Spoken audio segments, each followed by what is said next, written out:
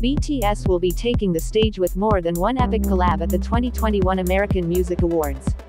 On November 18, KST, BTS and Coldplay officially announced that they would be performing together at the upcoming awards ceremony, which will be held later this week in Los Angeles.